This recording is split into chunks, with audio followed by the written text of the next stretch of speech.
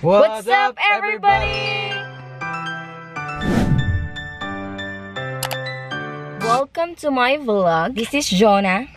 This is his driver. Hey, driver.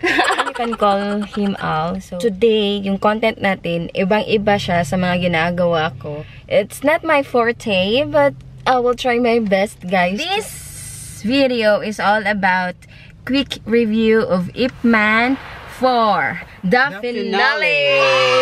Yes, um, we watched the movie last Friday. Saan nga? Sa Robinson's Galleria Cebu. Yeah, the movie, guys, was directed by Wilson Yep. Yep. Yeah, Wilson Yep. Um, yung cast starring by... Uh, Donnie Yen, the main character, who is uh, playing as Ip Man. And guys, fan ba kayo ni Vanessa? Yes! Nandun siya sa Ip Spoiler. Man 4. Hindi ako nagspo-spoil guys ha. So, nasa cast si Vanessa. So, if you're fan of him, yeah, you must You know- watch the movie. Original um, 4. The original F4. Yeah, anong masasabi mo regarding sa Ip Man movie? It was actually a very good movie for Yeah. me. Ah, maganda yung action niya. And then, if you're a martial arts fan, you will have fun with this movie.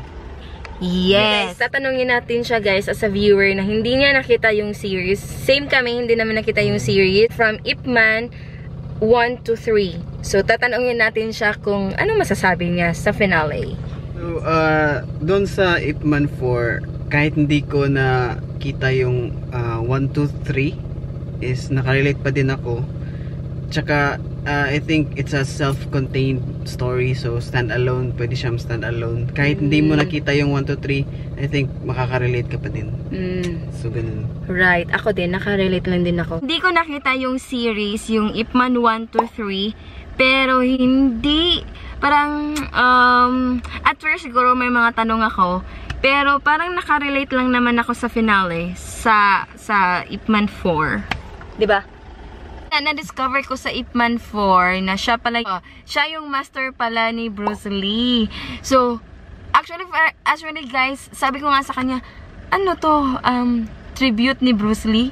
I, Ip Man 4 yung title. So, yun nga, um, may relasyon pala sila. Siya yung master ni, um, ni Bruce Lee. So, kung Bruce Lee guys, mga basta martial arts, yun, and then nas, nandun si Bruce Lee, iba yung level na ng mga actions, yung, yung mga um, movement ng camera guys. Sample, sample nga dyan, sample. What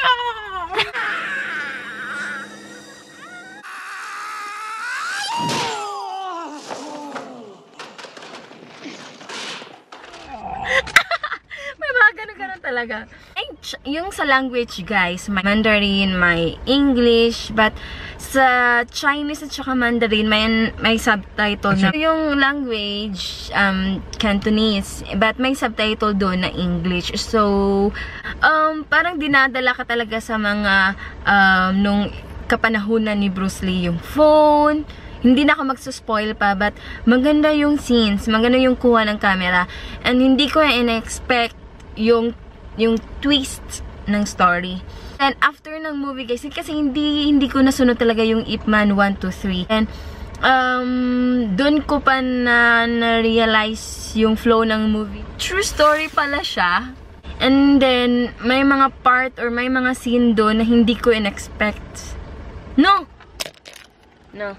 Yun guys, yung masasabi ko sa movie, hindi na ako magsasabi pa ng anong twist ng story. Yung suggestion ko, pat magdala kayo ng handkerchief or tissue man lang. Kasi kung tao ka na madaling or Yeah. emotional, yung taong ba mababaw yung luha, yes. Alam mo yun. Pero pinigilan ko yung sarili ko na talagang Ganun, ganun talaga kasi, alam mo yun, nakakahiya kaya talaga. Mm, yung college days kasi guys, um, I tried Aikido and Arnis. Nakarelate din ako sa martial arts. And then, kaya nga, nasunod ko yung flow and so, it was fun. It was really thrill.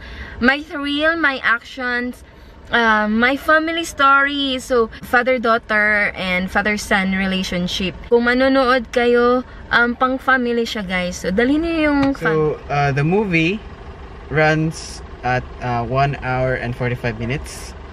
So, um, average time lang siya sa mga, ng mga movie. Ganun. Marami kang matutunan. May mga lessons sa movie. Like, yung racist. Basta makikita nyo doon, hindi madali na victim ka ng bully. So, yun yung parang isa sa lesson doon sa movie. So, you better watch out. And, yeah. Basta guys, overall, overall thoughts ko, um, if, if you are fan talaga ng self-defense, ng mga martial arts, you're gonna enjoy this movie.